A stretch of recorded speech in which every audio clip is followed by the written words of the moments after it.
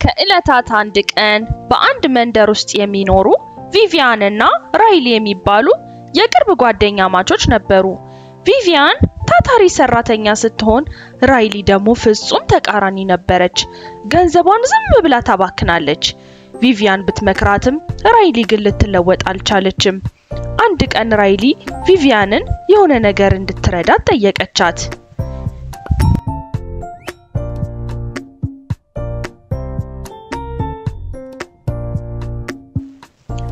ቪቪያን እዚህ መንደር ውስጥ ከቆየን ምንም አይኖረንም።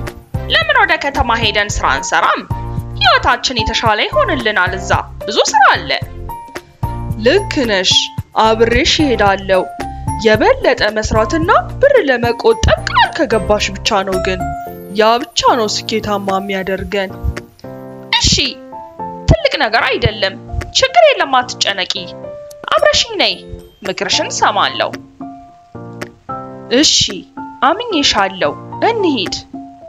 ቪቪያን እና ራይሊ መንገዳቸውን ጀመሩ። ብዙም ሳይቆዩ ከተማ ደረሱ። ትንሽዬ ሱቅም ለመክፈት ተነጋገሩ። እንደ እድል ሆኖም ስራቸው አሪፍ ሆነላቸው። የበለጠ ገንዘብን ማግኘት ጀመሩ። ትርፉንም ይካፈሉታል። ነገር ግን ራይሊ ገንዘቧን ማባከኗን ቀጠለች። ያጠራቀመችው ገንዘብም መቀነሱን ቀጠለ። ቪቪያንም በጥረቷ ምክንያት የምታጠራቅመው ገንዘብ መጨመሩን ቀጠለ። ወደ ቤት መመለሻ ጊዜም ሲመጣ ጓደኛሞቹ ትንሽ ገንዘብ አጠራቀሙ። እናም የራይሊ ገንዘብ ከቪቪያን በጣም ያንስ ነበር። ራይሊም የቪቪያንን ገንዘብ ስታይ ቀናች። ቪቪያን እንዴት ይህን ያህል ገንዘብ አመጣች? ትንሽ ገንዘብ ለራሷ አስቀርታ መሆን አለበት።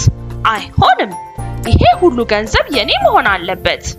ራይሊም አስባ አስባ መጥፎ ሀሳብ መጣላት። አን እንደኔ ይህን ገንዘብ እዚህ ከያዝነው የተጠበቀ አይሆንም፣ እንዘረፋለን። እና ምን ይሻላል? ብቻ የምናውቅበት ቦታ እንቅበረው። ትንሽ ገንዘብ ብቻ ነው መያዝ ያለብን። ቢያልቅብን እንኳን ምን ይመስልሻል? ቪቪያን ተስማማች ነገር ግን ክፉዋ ራይሊ በውስጧ እንደሳቀችባት አላወቀችም። ድብቅ ቦታም አገኙ። ሳጥን ውስጥ አድርገው ከዛፍ ስር ቆፍረው ቀበሩት። ከዛ በኋላም ቪቪያን እና ራይሊ ወደ መንደራቸው ተመለሱ። መንደርተኞቹም ተቀበሏቸው።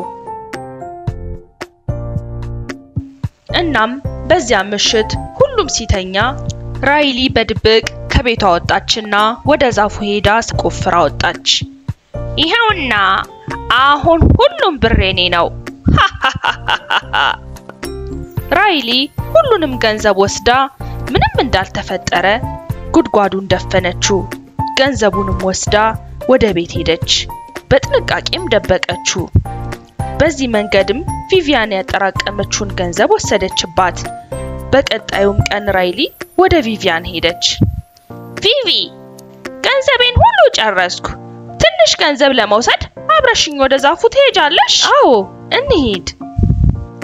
ወደ ዛፉም ሄደው ሳጥኑን ቆፍረው አመጡ። ገንዘቡን መጥፋቱንም ሲያዩ ደነገጡ።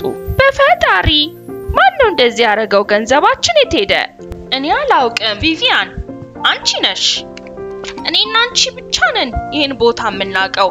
አንቺ መሆን አለብሽ የወሰድሽው። አይ እኔ አይደለሁም። ራይሊ አልወሰድኩትም። የማንንም ገንዘብ ወስጄ አላውቅም። ይህን በደንብ ታውቂያለሽ። ማን ያውቃል? ለብዙ ገንዘብ ተስገብግበሽ ቢሆንስ? አንቺ ውሸታም ሌባ፣ ገንዘቤን መልሽልኝ። በጣም ተጣሉ። ራይሊ የዛፍ ጌታ ቢኖር ራሱ የሚያስፈራኝ ነገር የለም። ያንን መጥፎ ስራ አላደረግኩትም። በራሴ አላፍርም። ቪቪያን እና ራይሊ ወደ ቤት ተመለሱ። ቪቪያን እስክትሄድ ድረስ ጠብቃ ራይሊ ዳኛውን ለመጠየቅ ሄደች። ምን ማለትህ ነው? አሁንም አሸንፋለሁ አይደል? የዛፍ ጌታ የሚባል የለም፣ አትጨነቂ። እኔ ከዛፍ ስር ሰው ደብቄ ድምፅ እንዲያወጣ አረጋለሁ። ከዛ እሷን ለመወንጀል መረጃ ይኖረናል። ራይሊም ተረድታው ዳኛውን አመሰገነችው። ዳኛውም ጠባቂውን ወደ ቦታው ሄዶ እንዲደበቅ አደረገውና እንደ ዛፍ ጌታም ሆኖ ሊወነጅላት አሰበ። በቀጣዩ ቀን ዳኛው ቪቪያንና ራይሊ ወደ ቦታው ወሰዳቸው። ምግብ አስቀምጦም የዛፍ ጌታውን ሊጠራው ሞከረ። አብራ ከዳብራ እባክህ ተከሰት ዛፉ፣ ይህን ጉዳይ እንድንፈታው እርዳን። እሺ፣ ምን ለማወቅ ፈልጋችሁ ነው ሰዎች? እባክህ ከነዚህ ቪቪያንና ራይሊ ከቀናት በፊት ከዚህ ዛፍ ስር ገንዘብ የሰረቀው ማን ነው? ጓደኛዋን ያታለለችው ቪቪያን ናት። ሁሉም ዛፉ እንደዚህ በማለቱ ተደናገጡ። ራይሊንም በጥርጣሬ አዩአት። አይሆንም፣ ውሸት ነው፣ እኔ አልወሰድኩትም፣ እባካችሁ መኑኝ። ዛፉ እኔን እንዴት ትወነጅላለህ? ከአሁን በኋላ መካድ አትችይም። ቪቪያን እንደዚህ ታረጊያለሽ ብዬ አልጠበቅኩም። እንዴት ብደፍሪ ገንዘብ ሰርቀሽ ጓደኛሽን ተዋሻለሽ? ጠባቂዎች ሰሯት። ልክ በዛ ጊዜም ትልቅ ፍንዳታ ከዛፉ ስር ወጣ። ዛፉ ስር ተደብቆ የነበረውም ጠባቂ ተወርውሮ ከሁሉም ፊት ወደቀ። ከዛ በኋላም ትክክለኛው የዛፍ ጌታ ተከሰተና ሁሉንም አስደነገጠ። አንተ አንተ ትክክለኛው የዛፍ ጌታ አንተ ነህ? አዎ እኔ ነኝ ትክክለኛው። እዚህ ዛፍ ስር ነው የምኖረው። ይህችን የዋህና ታታሪ ሴት በእኔ ስም ስትወነጅሉ መታገስ አልቻልኩ። ገንዘቡን የሰረቀችው ራይሊ ናት። ልክ ከኔ ፊት ሁሉንም ነገር አይቻለሁ። እናም እሷ ይሄን አልጠበቀችም። የሰራሽውን ማንም የማያውቅ ይመስልሻል? አሁን ግን ሁላችንም አውቀናል። ለመደበቅ አትሞክሪ እና ይሄ ስግብግብ ዳኛ ራይሊ በሰጠችው ጉቦ ቪቪያንን ወንጅሎ ሊያስር ሞክሯል። እንዳንተ አይነት ሰው ዳኛ ሊሆን አይገባውም። እባክህ ይቅር በለኝ ዛፉ፣ እንደ ተሳሳትኩ አውቃለሁ። እኔ ነኝ ተስገብግቤ ገንዘቧን የወሰድኩት። እናም ወነጀልኳት። እባክሽ ይቅር እንዲለኝ ጠይቂው። ራይሊ ጓደኛዬ ትመስለኝ ነበር። እባክህ ቅጣቸው ዛፉ።